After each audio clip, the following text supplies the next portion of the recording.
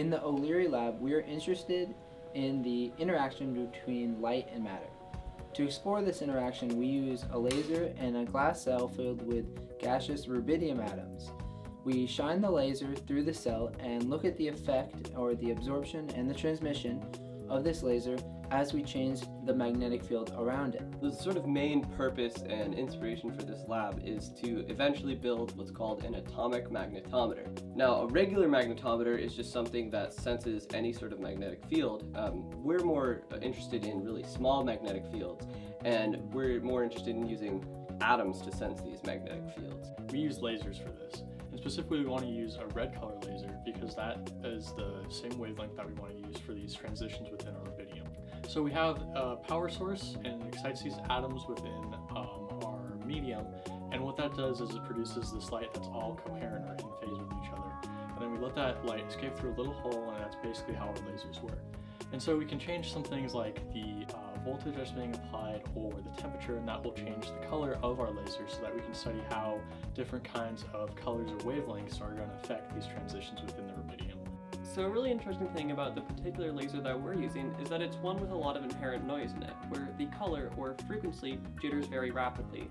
This means that when the laser beam passes through the magnetic field affecting the rubidium cell, we actually see changes in the noise that we would not otherwise normally be able to see without this inherent frequency jitter.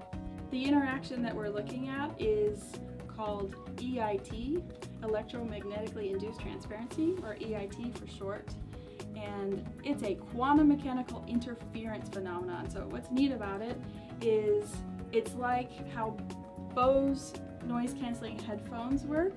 Um, that's a destructive interference process. So what happens within the atoms is that light interacts with the atoms and causes this interference within the atom itself such that the light can go through when without this it would have been stopped. So I like to say that the wall, that's the atoms, becomes a window and lets the light through. On top of that there's an even more sensitive interaction that has to do with how noise inherent in the laser, so a color flicker, becomes converted into an intensity flicker.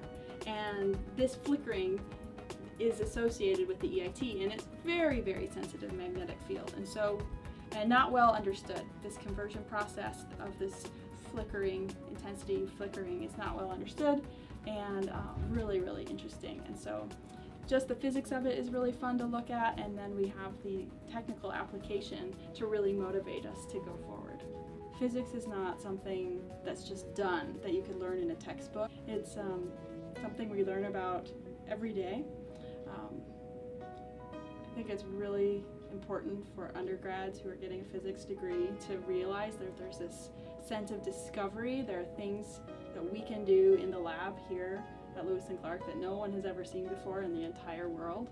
Um, and so my students are my collaborators and um, we are working together to find out brand new things about how light and matter interact and hopefully these can be then used to better humanity.